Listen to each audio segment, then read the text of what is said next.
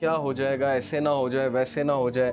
मेरा क्या बनेगा मेरा कैरियर क्या है? कैरियर अल्लाह बनाता है स्कोप अल्लाह बनाता है। हेलो फ्रेंड्स सत श्री अकाल अदाब नमस्ते welcome back to our channel Ilahi reaction आज हम अपने चैनल पे लेकर आए हैं बहुत इंटरेस्टिंग वीडियो पे रिएक्शन जिसमें हम रिएक्ट करने वाले हैं। No job no prayer emotional reminder from the youth club तो देखते हैं कि आज की वीडियो में क्या कुछ खास है, क्योंकि ये भी एक इमोशनल रिमाइंडर है। आजकल हम जितनी वीडियोस देख रहे हैं, उन सब वीडियोस के अंदर कुछ ना कुछ एक अच्छा मैसेज होता है या वो एक रिमाइंडर होती है हमारे लिए, एक आई ओपनिंग वीडियो होती है कि अब भी टाइम है, अब भी सुधर जाओ। तो देखते हैं आज की वीडियो से क्या मैसेज मिलेगा फिर इसके बारे में बात करेंगे। यूथ क्लब की आई थिंक सारी वीडियोस बहुत अच्छी है क्योंकि जो यंग जनरेशन है अगर कहीं ना कहीं वो ये सोच लेना कि हमने टाइम चेंज करना है हमने लोगों को बहुत ज़्यादा जो है मोटिवेट करना है कि वो इबादत की तरफ़ आए। तो आई थिंक उनका जो वो पूरी जर्नी होती है उनका जो मिशन होता है वो बहुत सक्सेसफुल होता है।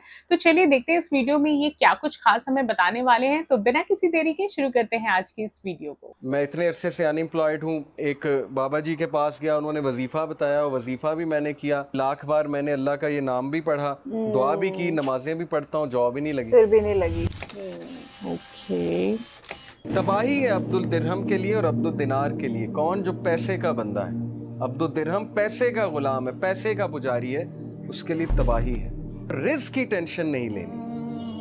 मेहनत करनी है। ऐसा नहीं है कि बिल्कुल ही घर बैठ जाना। सस्टेनेंस की वरी को कैरी नहीं करना। सर पे सवार नहीं कर लेना। हाँ। अब्दुल दिरहम अब्दुल दिनार नहीं बन जाना। अब्दुल्ला बनना है। अल्लाह ताला राजिक है। अल्लाह ताला चिड़ियों को रिस देता है। अल्लाह ताला परिंदों को रिस देता है। अल्लाह ताला बगैर मांगे रिस देता है।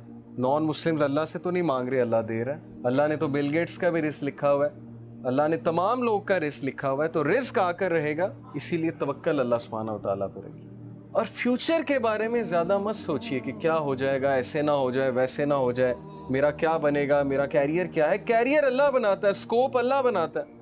यूसुफ इस्लाम जब कुएँ में थे, अगर वो ये सोचने लग जाते, मेरा क्या बनेगा? तो उन्होंने बादशाह बनना था इजिप्ट का। सो यू नेवर नो हालात कैसे चेंज होते हैं। तवक्ल अल्लाह पे करना है। है बड़ा मुश्किल काम इसीलिए तो इसका सवाब है। इसीलिए तो अल्लाह को ऐसे लोगों से मोहब्बत है क्योंकि मुश्किल काम है हर बंदा नहीं करता। नहीं कर पाता। ज़्यादातर लोग पैनिक होते हैं स्पेशली रिस्क की जब बात आती है। अगली चीज़ रेडी होगी आपके लिए अगर आप अल्लाह ताला से ताल्लुक रखेंगे।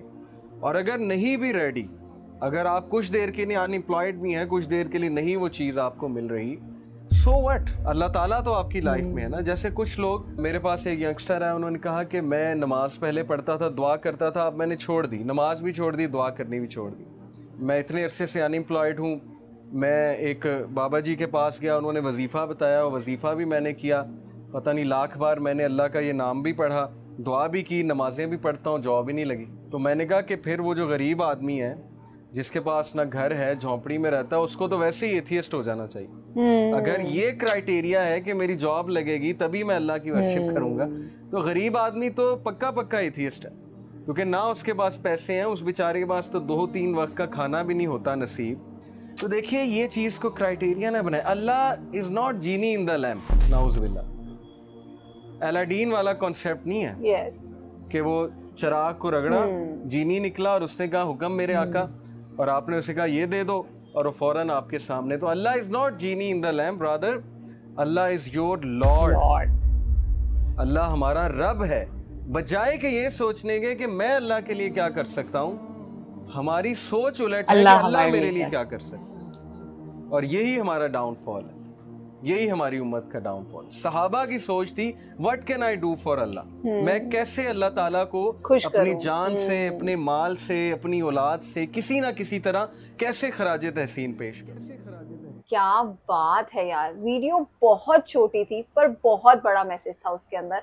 उन्होंने एक एक बात जो समझाई है और एक एक एग्ज़ाम्पल के साथ मज़ा आ गया। मैंने पहले भी एक वीडियो देखी थी, उसमें भी मैंने यही बोला था कि जब हमारी एज के लड़के ऐसी बातें करते हैं तो वो बहुत अच्छा लगता है।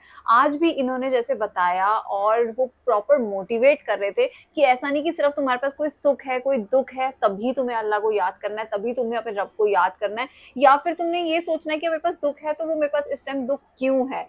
तो मतलब इस टाइम अल्लाह ने मेरे साथ ऐसा क्यों किया? मुझे जॉब क्यों नहीं दी? तो क्या मतलब तुम इस टाइम पे भी उनको याद करो। इनका जो भी मिशन है, बहुत अच्छा मिशन है। सच में मुझे बहुत पसंद आई वीडियो। बहुत ज़रूरत है आई थिंक कहीं ना कहीं आज आज के दौर पे इस टाइप की वीडियोस की। और अगर इस तरीके की मोटिवेशन यूथ के थ्रू दी जाए तो वो और भी अच्छा है। क्योंकि कहीं ना कहीं टिकटॉक और सोशल मीडिया ने इतना ज़्यादा ग्रैप कर लिया है यूथ को, कि वो उन सब चंगुल से नहीं निकल पा रहे। वो हर चीज़ जो भी सोशल मीडिया पे दिखाई जाती है, वो उस पर ट्रस्ट कर लेते हैं।